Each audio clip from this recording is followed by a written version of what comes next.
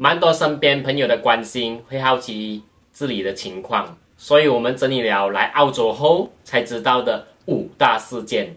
嗯这个是我们的亲身体验呐、也许你来到这里过后也会遇到的东西了，所以我们今天就通过这个影片来分享一下。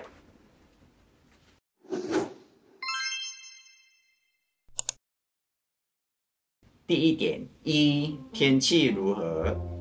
澳洲是一个国家，但是有很多州属。我们住在维多利亚州 Melbourne CBD 市中心，一年有四个 season，分别有春夏秋冬四个。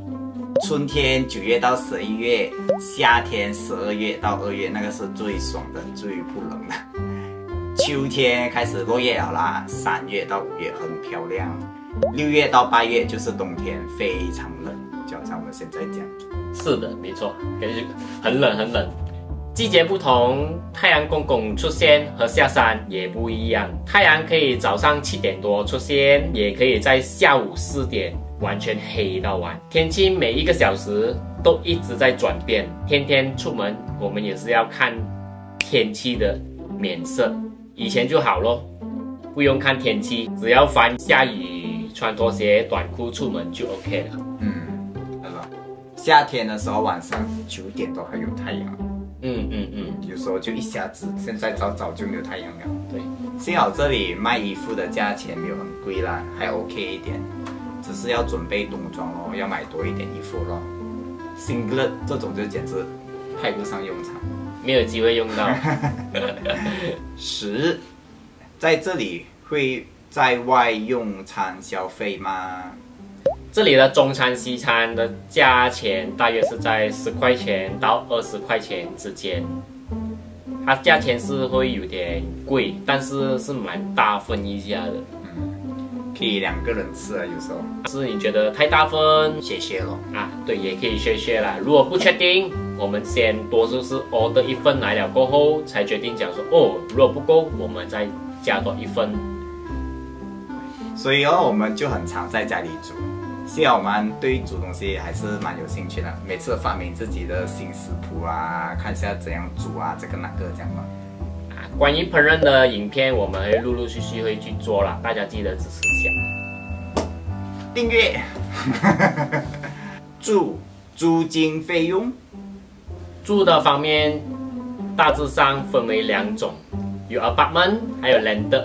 apartment 两个房一个厕所，平均的价钱是在二百五到四百之间，是每个星期的价钱。市中心比较多 apartment，附近也比较多超市，还有 shopping mall 也比较方便呐、landed 的话就是有三个睡觉房，两个厕所这样啦，standard 啦，价钱也是两百五到四百这样子。CBD 呃市中心就没有 landed 了，一定要到郊外一点点。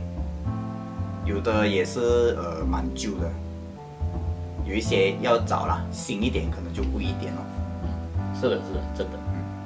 那时候我们怎样找房间呢？我们是通过 Real Estate App 里面找，记得要花时间 booking 去找 agent 约时间看房间。然后如果我们看了房间，如果是 OK 了，我们要 submit 个人资料给 agent，然后 agent 来筛选。比如讲，我们在看房间的同一个时间，有五个人都要竞争哪一个单位的话，房东他就要去筛选了五个里面选一个快的话，三天到一个星期可以找到一间家了。如果慢的话，可能七天到十四天工作天，是工作天了。毕竟这也是澳洲的效率，chill and balance，哇，积累谁呀？行，行，讲讲这里的交通啦。市中心里面就有那个免费的电车可以坐。如果那个电车要到市区以外哦，嗯就要用就要花费了，就要 d 了，大概一天要八块钱费用是来回吗？啊，对，是算一天这样子的啊，八块钱这样啊，蛮够力一下了。是很贵的，澳币八块钱呢。如果要去市区以外的地方哦，就是要有车啦，会比较方便一点哦。公共交通哦，就蛮吃时间了，而且 Uber 啊、滴滴啊，这里是蛮贵的，也不便宜，我这样讲。嗯嗯嗯啊，对对对。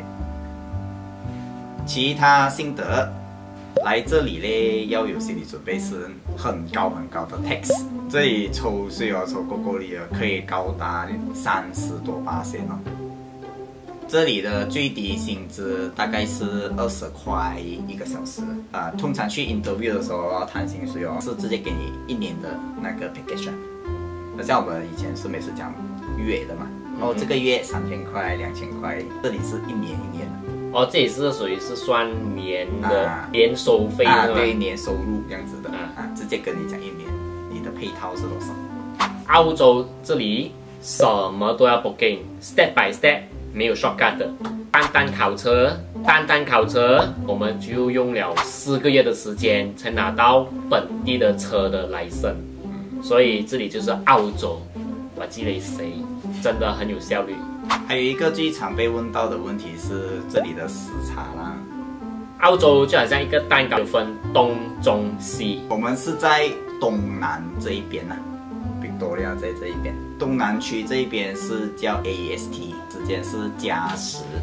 中部的标准时间是 UTC 加九点三零，Perth 在西部时区是 UTC 加八点。可是如果有夏令时的时候，嗯哼时差就会再多一个小时了。夏令时只有在南部还有东南部的地方用到的，在每年的十月第一个星期天到第二年四月的第一个星期天呐、以上是我们的个人分享，只供参考。还没订阅的朋友，请记得订阅、按赞、分享，你的支持是我们的动力。我们下个影片再见。还在用。哦，这个哦你等他们我拉。